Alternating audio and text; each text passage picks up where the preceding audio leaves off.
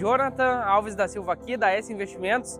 Quero mostrar para vocês essa maravilhosa casa aqui no condomínio Terraville com 465 metros quadrados privativos. Vem comigo!